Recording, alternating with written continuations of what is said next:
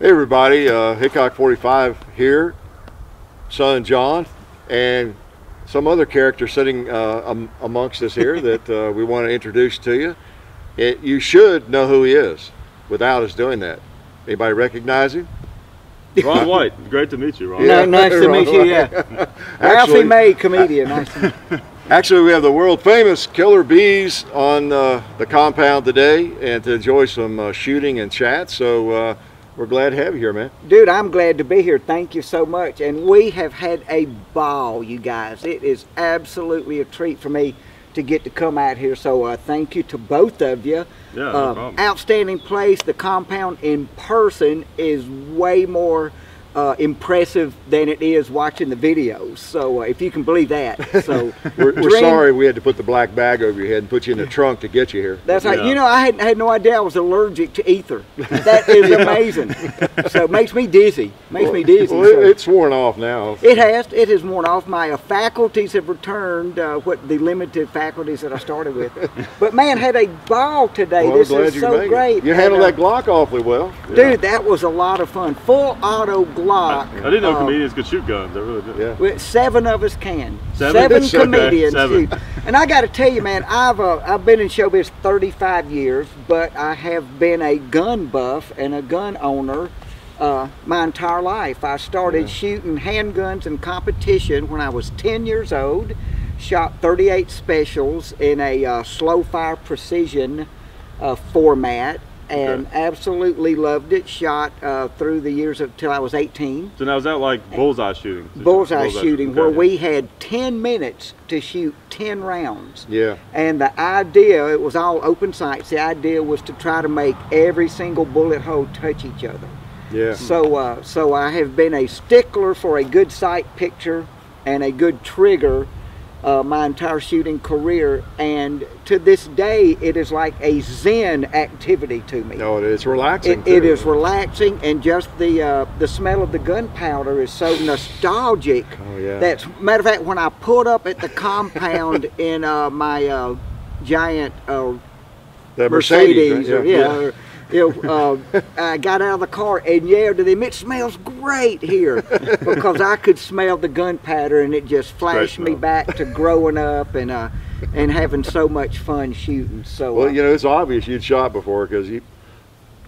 B shot the the swinging plates here as soon as he got here, and I think he hit like all five of them. You know, with this the first four or five shots. So, uh, well, I guess he didn't hit five with four shots, but he hardly missed, and, and that's tried. rare. That's rare. Most But- people struggle with those plates. And know. you, it's what's one thing. It's like you can't you can't fake shooting experience. You know what I mean? You can Yeah. tell if someone shot before. You know what I mean? I Right, can yeah, I can yeah, tell yeah. right away when you start. Yeah, shooting. yeah, you, you can tell by the way people hold a gun. Oh, if yeah. they're tentative or if they wrap Oh. around it like it's part of them. and how they handle Yeah. recoil. you know. So many Yeah. times in my life, I've had had people, friends, different people tell me like, "Oh yeah, I've shot guns, blah blah." And you're like, "Here, check this out." And just about just when they it first touches their hands, I'm like, "You just lied to me about all that." Right, You can right, tell. right, right. Yeah. Um, and I got to tell you, it's- just so much fun. And being in showbiz for all these years, I don't get to hang out with a lot of cats that can have a, a knowledgeable, fun conversation about guns. Yeah, I bet. Yeah, I Uh, most of the showbiz community has a very liberal um, outlook on life and politics, which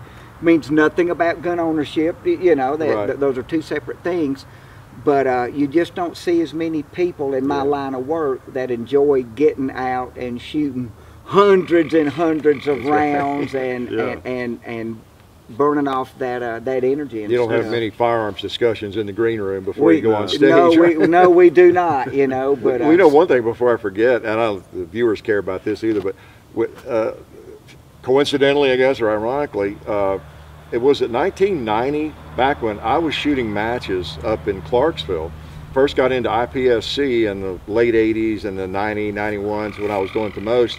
And and a, a mutual friend of ours that told me that, hey, you know, Killer Beaz. I well, I don't know him.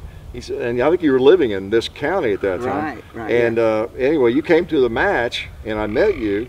I sort of remember it, you know, but I didn't know you, I, you know, th- at the time really. But I remember meeting you briefly. Didn't you have longer hair? Long Yeah, hair? yeah, yeah, yeah. You weren't as old either, were you? I was not as old, and I had a huge mullet. I had like the world's biggest mullet. Did y'all. you? You know, I did. It I was like a remember- lion's mane. I think I I mullet. remember that. I remember for some reason I remember long hair. Yeah, and yeah, maybe yeah. a band or something. I don't know, hippie That's look hilarious. or something maybe. It maybe, maybe it was a gun range though, Yeah. and I had that little Smith and Wesson with me that I brought over here today, that K38 Yeah, that I won my first pistol match with in 1963, ladies and gentlemen. well, you are old, aren't you? So I've been carbon dated. They have carbon dated me, and it broke the meter. You Wow. are an old guy. So What was it? What question I was going to ask you is like, how did, what was it like 'cause coming up where you came up? But you came up with of comedy in Mississippi, right? Right. where you came up? Yeah, so yeah, was, yeah. It, what was like the open mic scene like back well, in those days? well, interesting question, dude. There was no open mic scene. There were no comedy clubs.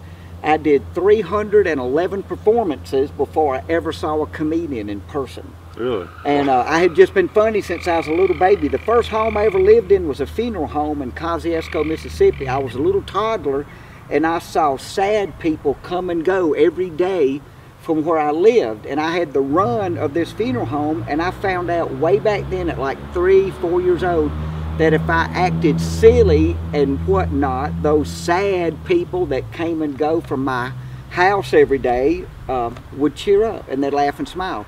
So I've been silly since I was little bitty, and so uh, when I just yeah, so when I decided to do stand up in Jackson, Mississippi, the last weekend of June, 1982, um, I went and did some uh, sets between bands at a nightclub. So there was no open mic. There was not a venue where people came to see comedy.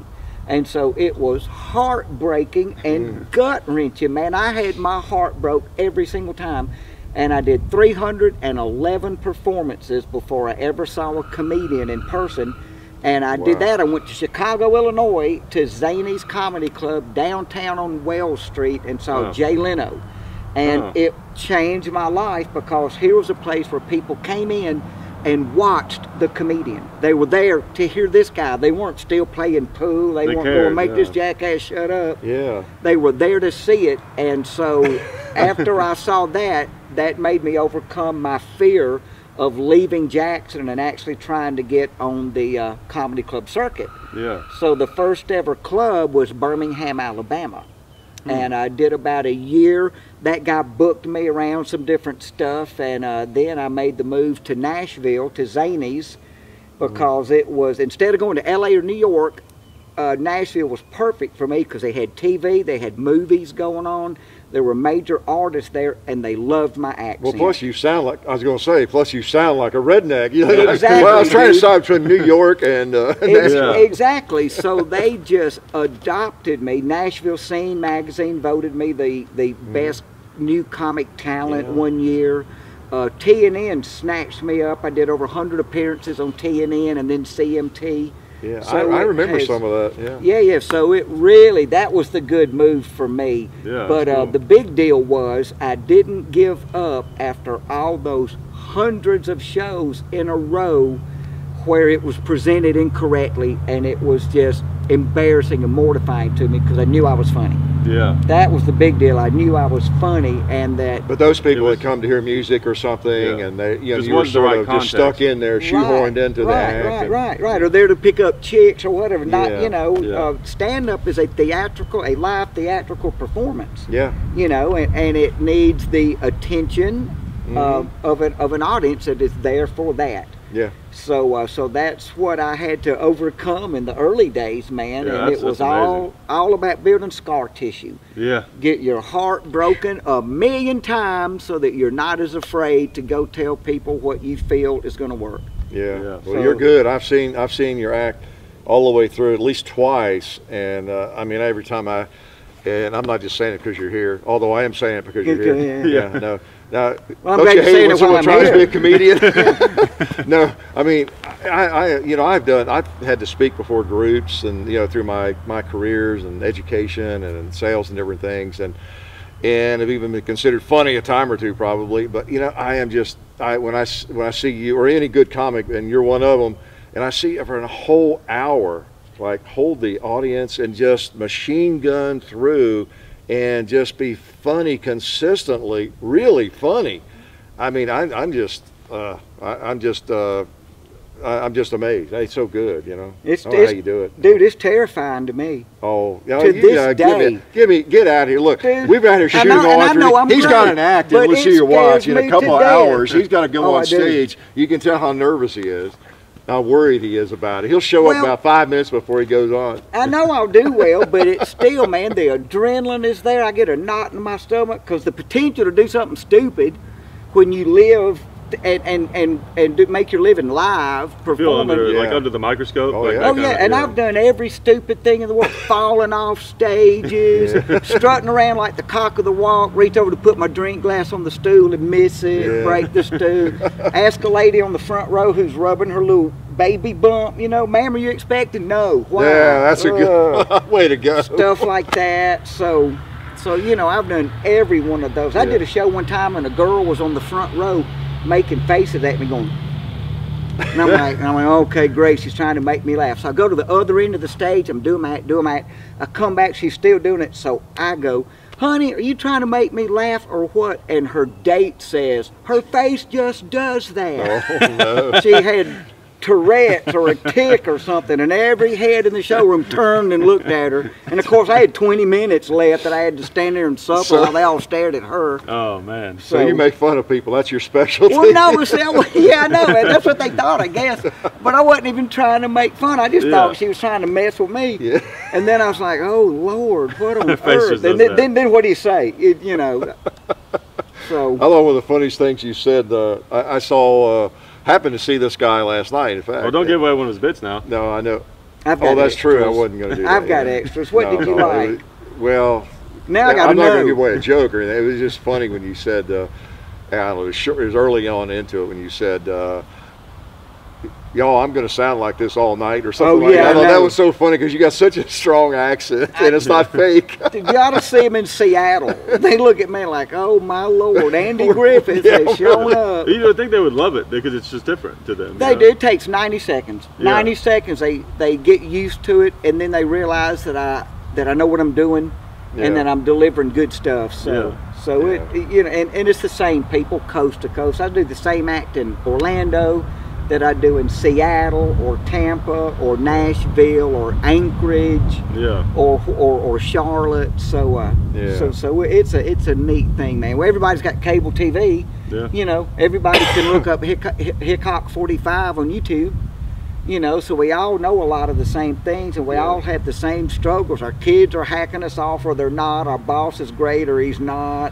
That's right. You know, mama's mama's mad today, or she isn't. So it's you know, That's it's universal the- subjects. I mean, people are people, or it's like poetry or anything. If you're, if you're writing about some universal subject or you're talking about it, it's, Yeah, and everybody can relate to it. Right, and that's one of the keys to writing is make that stuff universal so that you can do that act anywhere or when it is on TV or on the internet, it works for people everywhere. Right. Yeah. So that's uh What do you, and you stunning good looks. Yeah, well, that's so the there's real reason. that. Well, that's the real reason people come see you and they watch our videos, really. Exactly, Yeah. because it's like pointers to them. that's right. It's like now if I were in the woods and needed to do laundry, what would I do? That's right. We've taught them a lot. Yeah. That's Man. right. Well, do you ever have trouble like uh, coming up with new material? Is that is that always a struggle, or have you gotten pretty good at that? It Yeah. well, it depends. If I stay active and do things, Mm-hmm. then the material comes easy because my hook, my forte, is I still got my earplugs. on. telling is telling about things that I've done in a funny way. Yeah. If I'm in a situation where I don't get to do stuff, like I just got back from the Caribbean, ten days on a ship, and you don't do much but Right. eat and sit around when you're on a ship. So it was hard writing stuff because I was not experiencing experiencing uh, different life things. Well, eating Yeah. sit around, that's pretty relatable though. Well, it is, but once you do your bit about, I learned yeah. how to eat three buffets in one hour. you know, there's no. You don't have a whole hour on buffets? Yeah, yeah. Well, Well, I, that was my record. Oh, Three okay. in an hour. That, yeah, Oh, yeah, we race the clock. yeah. So, Like- but but I believe I will be able to tell about my adventures on a Hickok 45. Yeah, well, In a fun be- way. yeah, just be. Uh, yeah, oh, yeah. Yeah, Yeah, whatever so- you, can- you can talk about me being picky and me Yeah, and Dad really? arguing. Oh, Anyone who's ever Y'all come, should have seen that part. anyone who's ever come, any guest that's ever been here know how me and Dad argue. So That's right. Dude, it, is, it was absolutely great. That's what we funny. needed. It got we- funny. It got- If we had a drone camera, we needed a drone camera hovering, just watching them talk about which button I should button on that shirt. No, no, they're going to be able to tell. well, you know what? You know the thing is though that I've learned, and I've heard a lot of other people say that nothing creative, nothing good and creative happens without without some type of friction. There has to be some kind of friction involved with it, whatever it is, whether it's your own internal battles or arguing with the people that you're working with. Talk to anybody on like a writer's team or anything, and they'll tell you it's just it was wars. Because you were doing something really good, you're doing something that's probably a little different. You know? yeah, You're stretching. Well, or trying to at least. in my experience, if I just say yes, ma'am, and no, ma'am, there is no friction, and my life runs better. Yeah, I bet. So isn't your wife your the- manager? Yes. Oh my God. My wife's my manager. She knows exactly how much money I make. you can't So I never it. have a stash. That's right. I never had that little stash. You know, everybody's got like a, like an old leisure suit in their closet with something stuffed in the pocket. That's right. You can't I'll get off that. stage. I go, have y'all seen Terry? She's in there getting paid. Okay. Yeah. Awesome. I'll sit here. Well, I got to uh, ask you a question before I forget. If I were a comedian, professional comedian, I would just, I would, I would, I would just wait for that opportunity sometime in my life. Have you ever had anybody ask you, whether it's a friend, well, if they're a friend, they would, they'd already know, but someone ever, asked, you know, the old line, "Will you think you're a comedian or something?" Have you ever said something kind of funny around strangers and someone actually said that? That, that everybody gets occasionally. when you think you're a comedian? Everybody says it. Yeah, but they're saying it as a joke because they know I'm because you. I mean, someone who doesn't know you're No, a no, comedian. that's what I'm saying. Like if I'm in a restaurant, you know, Yeah. I'm always the best customer because I'm going to be silly and funny no matter what. They'll bring, you know how they'll bring you your stuff and go, this plate's real hot. When they say that to me, I go, so don't put my face on it. And they'll go, right, don't put your face. And then I'll do something else, and they will say, dude, you ought to be a comedian. Oh, do they? Oh, that's and great. so then everybody at the table just looks at me like, don't, just don't, just let it you go. need a card. You have a business Let card that says professional comedian. Yeah, I, Killer it- Bees. I don't know. I don't know if it says comedian or not. I do have a, a Killer Beaz card that gets distributed by my management team. Um, You need to have don't know if it says professional comedian written on it, and then just hand it to people in those cases. or One something. thing I found that's awkward is because I'm even just doing only doing comedy at this point about eight nine months something like that. I noticed it's like I almost don't want to tell people that I do comedy sometimes because then you feel like in a social situation they're judging you. You got to know be what I mean? funny. Or you feel like you have to try to be funny, or or usually I could go the other way, and not even try at all to be funny. But it's fun when people don't know that I do comedy. Then I can just be myself and try to be funny, and it's like not Right. pressure. It makes it like a weird thing sometimes. I Yeah. use a preemptive strike. I You're intro- always crazy, so I, you don't have introdu- that. I introduce myself as Killer Beaz, world famous comedian, part-time swimsuit model. Dang glad to meet you.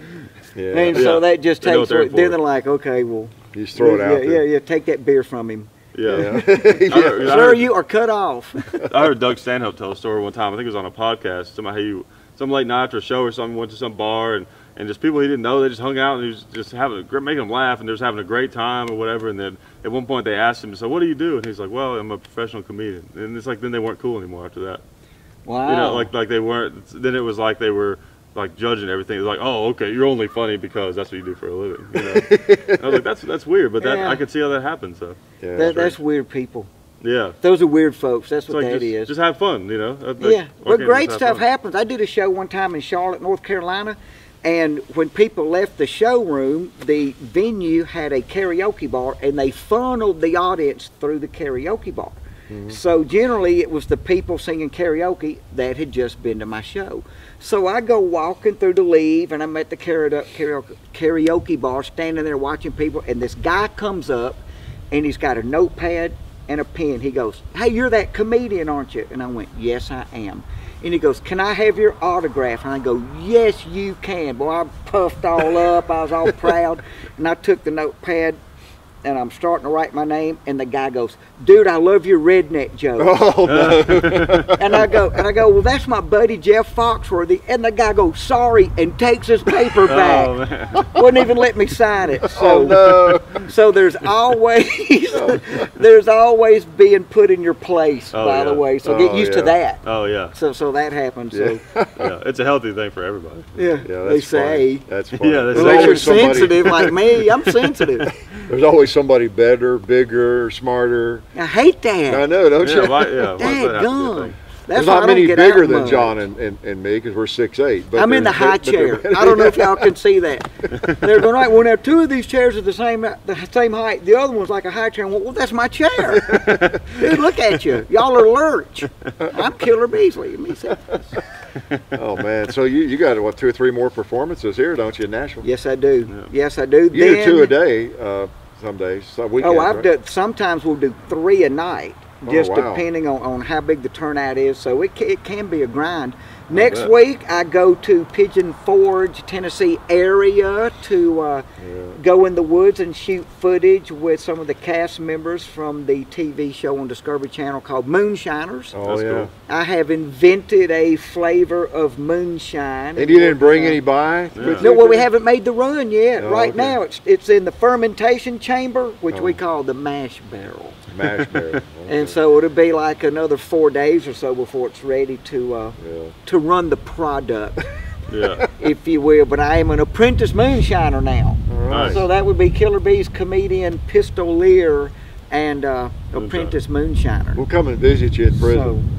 Yeah. well, you know, I think probably you don't get in trouble unless you try to sell the non-taxable taxable distilled spirits. Yeah. think Well, in I some think- states, I know in some I haven't states, read up on it yet. in some states, I think it, no one quote me on this, but I think in some states, yeah, please do not. In some states, you can actually um, like brew your own beer and distill your own moonshine as long as it's not like more than enough for the members of your household. It's something like that. And It's you're like not a, selling it. yeah, it's like it's like you can make a gallon per member of your household. It's, it's something Well, like I know that. you can wine. I've known people that have, that, Yeah. you know, done wine. Yeah, and, it's- and it's- maybe even beer. Yeah, it's like it bit. says as long as you're not selling too much of it or something like that. Well, I- well, I'm pretty much planning to take this batch coast to coast.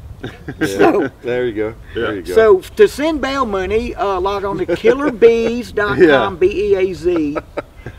I should start a GoFundMe. Rick, there you go.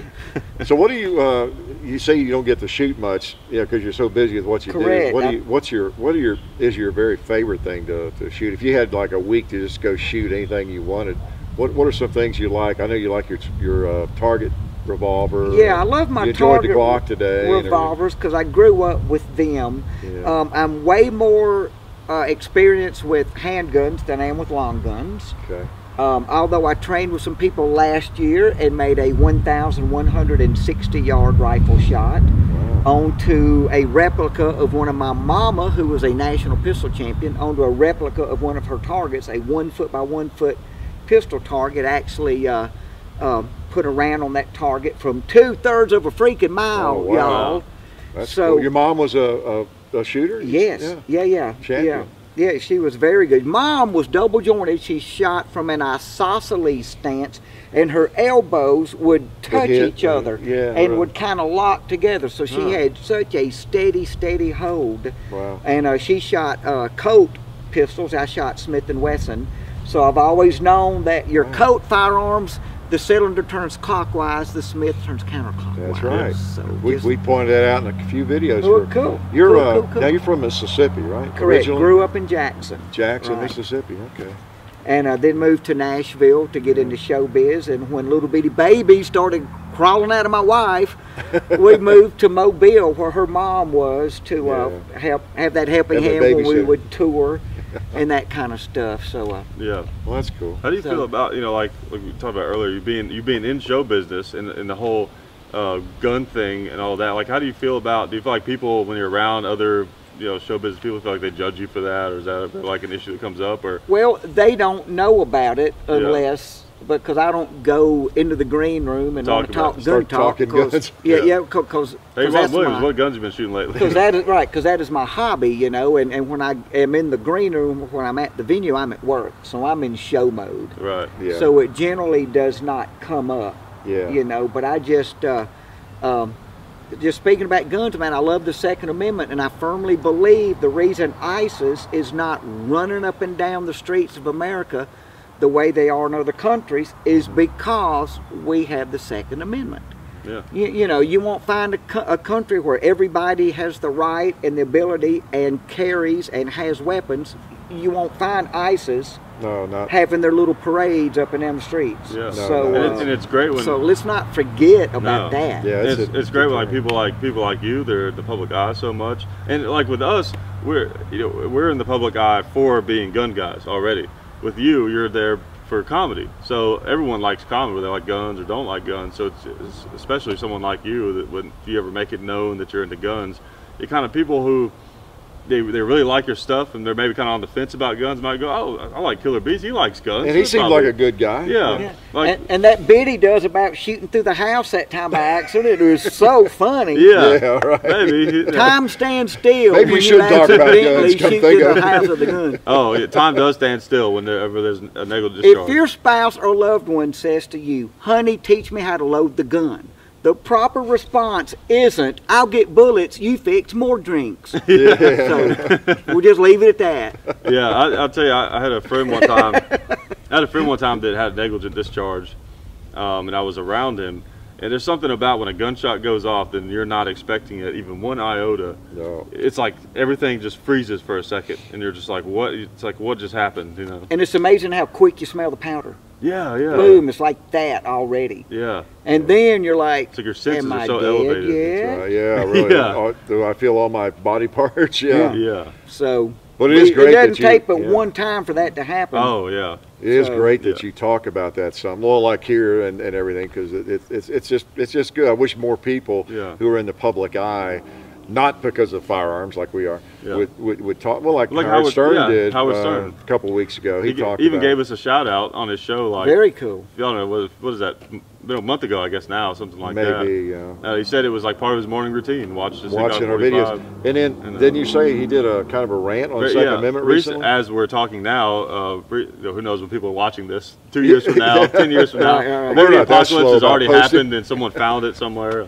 But um, yeah, he he went on some big rant about you know the Second Amendment, you know, and how how you know everyone should be able to have a gun. Now he did say he supported uh, universal background, Background. checks, but that's that's that's a different issue. At least he you know, likes to shoot, and he uh, Yeah, he likes guns, guns. and he thinks people should should have guns. Well, I'm I'm in favor of reasonable, smart gun control. I don't have a problem with that. I am not in favor of banning or confiscation. right. Right. You know, but but Uh, the whole re- registration thing is really tricky because the reason that registration is scary and bad uh, or universal background checks would uh, they're kind of two in the same. You can't have a universal background check without some kind of reg- registration. The scary thing is like let's say there was universal reg- registration and but we can have whatever we want. Well now the government knows what we have. So if they decide to take up our guns they know who has the guns. That's the scary thing. So like that's the problem. You know, in a, in a vacuum where we didn't have to worry about these kind of things, the registration wouldn't matter, right? Right, but, it's that slippery slope, and we, we can't trust the government entirely. Is a problem. right, that's that's kind of I'm, the I'm pretty sure the government's going to come to me for help. Yeah. yeah, well, I'm pretty sure they'll be soliciting. yeah, hey, we need some more guns. well, and yeah, and that's and that's the thing too. The, the government probably knows already who has guns, you know, but They do not. They can't know for sure. They do not. They don't. They don't know whether Visa sold that 38 special or not. if they so- wanted to, well, I'll put it that If way. they wanted if to, they wanted yeah. to. Um, a gun that I got in 1964, 60, 67, uh, that's going to be hard to trace. It's Yeah. Oh, going to yeah, be hard to sure. find that gun. Because you might not have it. Didn't you drop Yeah. that in a lake or something? I sold that gun. That's I right. sold that gun. But see, I all they sold gotta all do, of mine last but see, week. all they have to do is they have to get on YouTube and they see you on our channel they know, oh, Killer Beaz has guns. Yeah. But you know what? That's the magic of trick photography. That's, right, Yeah, it's all an act, dude. It's just character right now. You know. Yeah. Well, you just told us you were going to sell all those, uh, you know, like tomorrow. So by the time people see this, you'll be gunless. Oh Yeah. yeah, I will be, but but that's okay. Yeah. Yeah.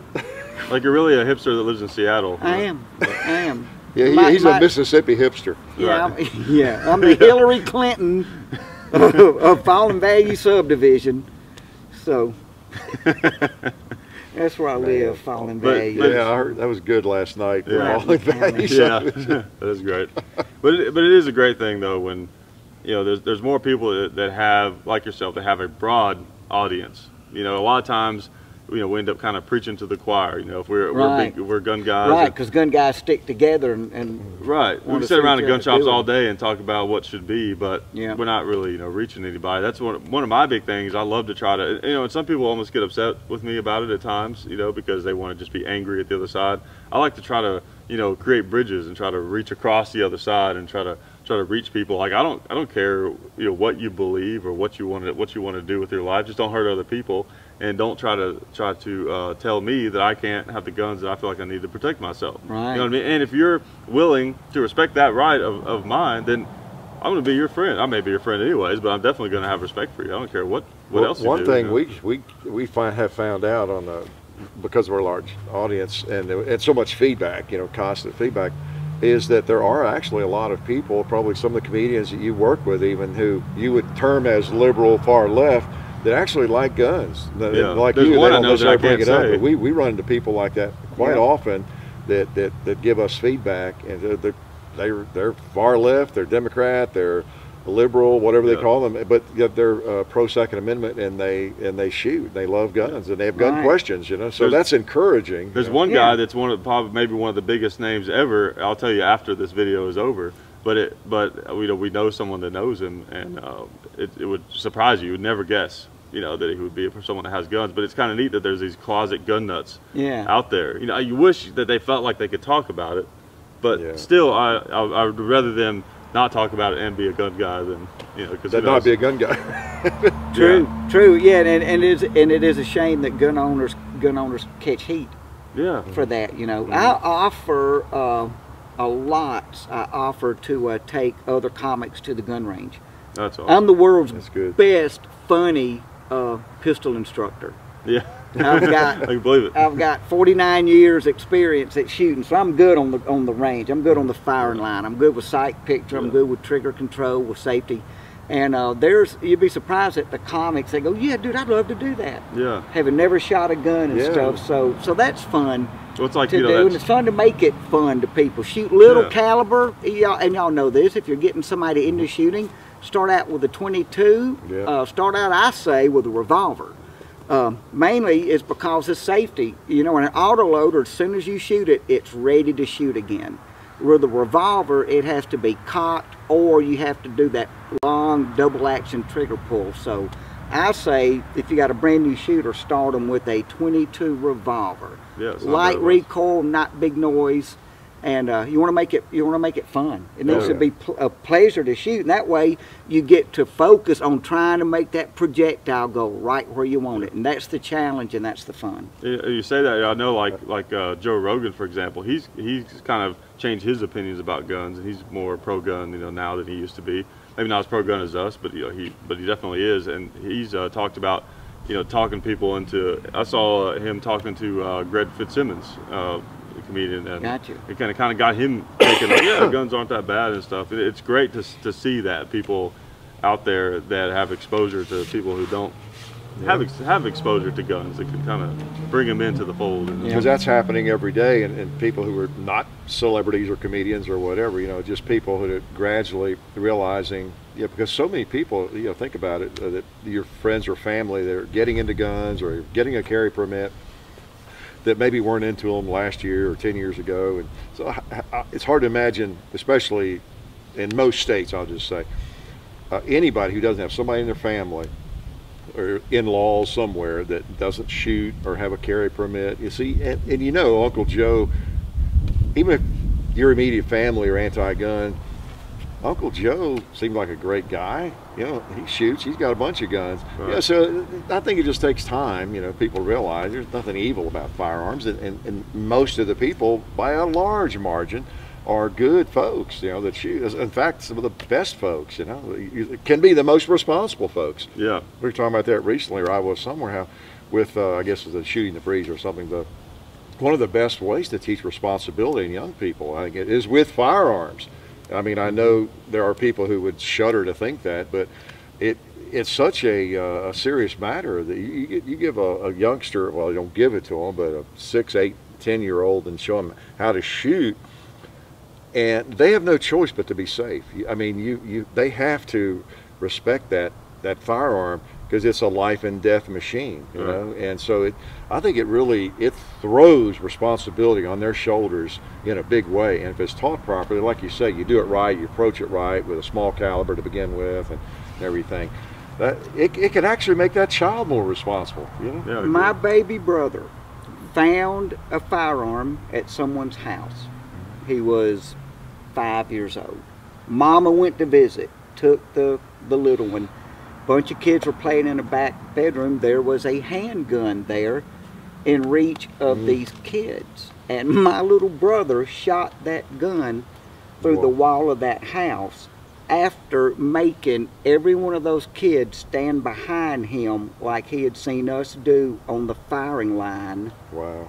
uh, almost every day of his life since we were shooting before he was born and he would go to the range with us and he would see us every single time make sure everybody was behind whoever was shooting and um, bad that this that this gun owner had a gun out where kids could find it Yeah. but a five-year-old kid picked it up and knew to have all the children stand behind him Wow. Wow, that's amazing. to shoot the gun. So that's So he a- shot it through the house though. shot it through the house, but but he had but, everybody behind him. But holy cow, Yeah. you Yeah. know. Whereas if it would have been a kid with who had not been yeah no who had not right. seen that training take place, Mhm. they would not have known or to they, do or that. he might just start shooting it at the, the Exactly. buddies, you know. And that's why you know you don't just rely on keeping the kids away from them. You teach them too. So if Yeah. for some reason you make a mistake, we're all prone to that, and they find they find it, you know, and it's going to be okay. if you're ever up against a child with a handgun, uh, because they may think it's a toy, they may want to play and shoot it at you. The proper technique is to pick a safe, inanimate object and challenge the child to shoot that object. Um, as opposed to going, I'm going to get the gun. They're going, no, no, no, we want to play with you. Challenge them to shoot that dresser over there or that tree. Um, Yeah. That's a whatever, weird. That's a really bizarre situation. Diverse, but that makes, yeah. but- hopefully that doesn't happen. Yeah, but yeah. but- but, those, but sense, those though. Situations makes sense. happen Yeah. and so that you know that's just we just have to all learn these little kind of techniques Yeah. that came from my dad's training from 32 years as a police officer uh, they learned that you know because kids will play with guns and Yeah. so you so instead of it being a game yeah. daddy i'm going to shoot at you you know shoot that bucket over there Yeah. shoot that thing and uh, Yeah, use your common sense and maturity and say, yeah, let's see if you, I bet you can't hit that bucket or something. Exactly. And then as you're talking about it, but before you shoot it, go ahead and aim at it. And uh, I'm going to move over, you know, and then maybe you can get it out of their Ex- hand. But yeah, get, exactly. get their attention diverted to something else first. so yeah, that's that's interesting. Just Yeah. a tip. Well, Gentlemen, I uh, have got to jet out of here. There is a No, we're going to keep you huge till there's one minute sold left. out Before, crowd of foaming at the mouth, rabid Killer Beaz fans waiting for my appearance. Yeah. are you going to, wait, here's the question. Are you going to be funny tonight? I'd probably not. I'm going to fake it again. You think you're a comedian? Yeah, you think I'm some kind of comedian or something? Yeah. I'll You tell know, we all do, John. We, well, well, we shouldn't tell you, but you know what we did? we, we, we got most of the ticket holders and we've called, we've told them all your jokes, man. Oh, So, great. yeah. Great. Yeah, yeah, yeah. Actually, I bought all the tickets, and no one. So they think it's sold out, but no one's showing up. well, as long as you bought the tickets, I get a cut, so that's Nah. fine. Since we saw That's your good, act last thank you. night, see, we got we know all the punchlines. We're going to go tonight again, and just before we're going to shout out the Yeah, punchlines. yeah. I used to do this bit in my act. Sometimes I'll still do it about being so lazy that I don't clean my car out. And I go, my, I go, people don't park by me. They think it's a dumpster. and then, and then I'll go. The other day I was rooting around in the floorboard hunting some ketchup, and that segues into, you know, y'all know what I found? There's a puppy living in my car. So that was the final punchline was there's a puppy living in the car. Well, I was doing a radio interview some one somewhere one day, and the DJ goes, "Oh, do that joke about the puppy in the car." yeah. That's the punchline. Yeah. Like, yeah. Do, do that one about the restaurant that had the salt lick in the middle of the room. Do that one. Oh, okay. Oh man. Well, it's been great having you. Yeah. Dude, I love you. Thank you so Glad much. Glad you're a gun guy, and uh, I, Yeah, I so knew much you fun. were because again, back 1990, I guess that was the year it was. Do you remember the yeah, year? uh, 89, 89 90 or or 90, something yeah. like that. Yeah, back in no timey days. Yeah. the old days, back when you were young and smart, right? Yeah, Yeah, and and, could they- see. Yeah. And thank you so much for giving me a guest spot on the show. Dude, no, that was awesome. That was fun to me. That was a lot of fun. I, I love helping people out that care and pay attention. yeah. So, uh, so, Yeah, I so really thank you it. for, for, for being that kind of guy. You know, the world is full of people who know everything. Oh man, yeah. And so, uh, so it's I, just I- fun, you know what I mean? I, I have fun with it. It's exciting. It, it, you know, I'm very motivated to do it. You know. Yeah, but- and now you've got Zanies Nashville on your resume, dude. yeah, that's Yeah. awesome. Yeah. Thanks. yeah Can you're you get me about 30 minutes up on stage before you? I mean, think of the advantage. No, see, I I won't. won't be funny at all, but think how much better that'll Well, see, make he's got to climb out of a hole Yeah, yeah, then. yeah, Yeah, see, you'll be, you'll, you'll, boy, they'll be so relieved when you come out. No, I want to go up first. I want to go Yeah. and do an hour 10. And then, Oh man, nah. Yeah, it's been it's been great to, to shoot Yeah. and uh, mess pleasure, around, and be funny with you. And, and how? What's all your stuff that people can find you? Yeah. Oh, yeah, killerbeaz.com, B E A Z, because we didn't know any better. And uh, Killer Beaz on Twitter and Instagram and Pinterest and Google Plus.